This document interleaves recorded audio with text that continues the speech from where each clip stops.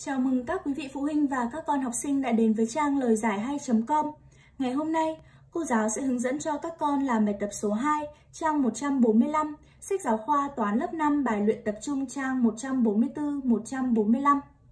Bài tập 2 đề bài như sau. Một cano đi từ A đến B với vận tốc 12 km/h. Cano khởi hành lúc 7 giờ 30 phút và đến B lúc 11 giờ 15 phút. Tính độ dài quãng đường AB. Cô giáo tóm tắt đề bài này như sau.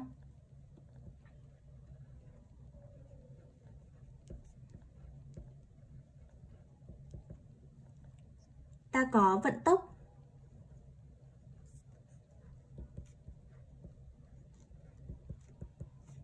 Là 12 km h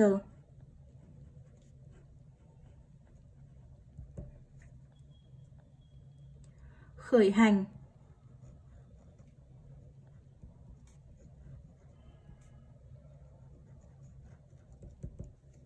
lúc 7 giờ 30 phút.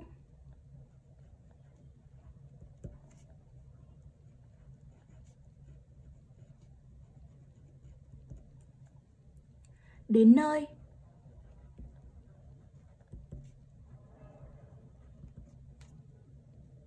lúc 11 giờ 15 phút.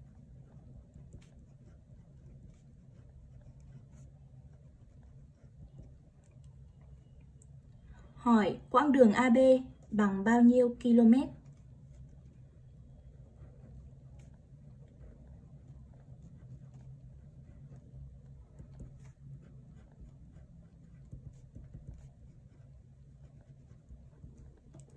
Như vậy, để làm bài tập này, đầu tiên chúng ta phải tính thời gian cano đi từ A đến B bằng cách lấy thời gian đến nơi trừ đi thời gian khởi hành. Sau đó ta sẽ tính được quãng đường AB bằng cách lấy vận tốc của cano nhân với thời gian. Chúng ta cùng đi vào lời giải chi tiết của bài tập 2.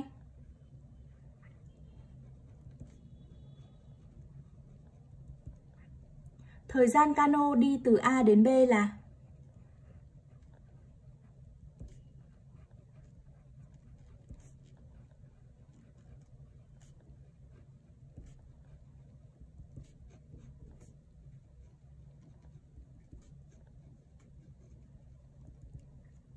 ta lấy 11 giờ. 15 phút. Trừ đi 7 giờ. 30 phút.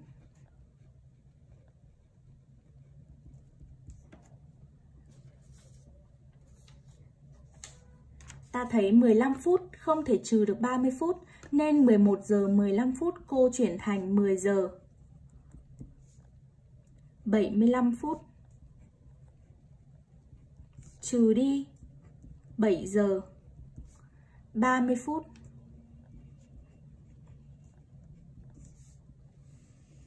Bảy mươi lăm trừ ba mươi bằng bốn mươi lăm phút. mười giờ trừ bảy giờ bằng ba giờ. Như vậy cô được kết quả là ba giờ bốn mươi lăm phút.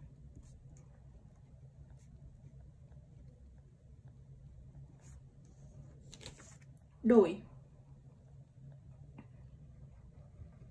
3 giờ 45 phút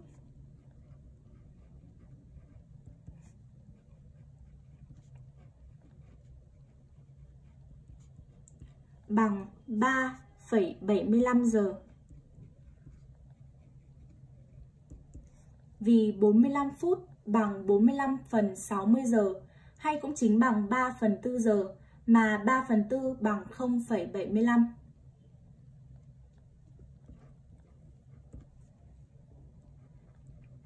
Vì 3 giờ 45 phút bằng 3 và 45 phần 60 giờ hay chính bằng 3 và 3 phần 4 giờ. Bằng 3 và 75 phần 100 giờ. Và cuối cùng bằng 3,75 giờ. Như vậy độ dài quãng đường AB là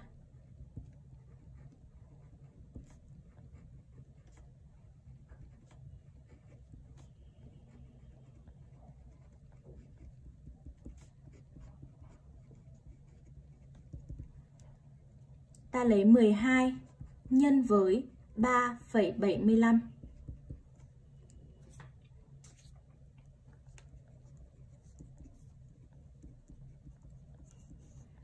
5 x 2 bằng 10, viết 0 nhớ 1.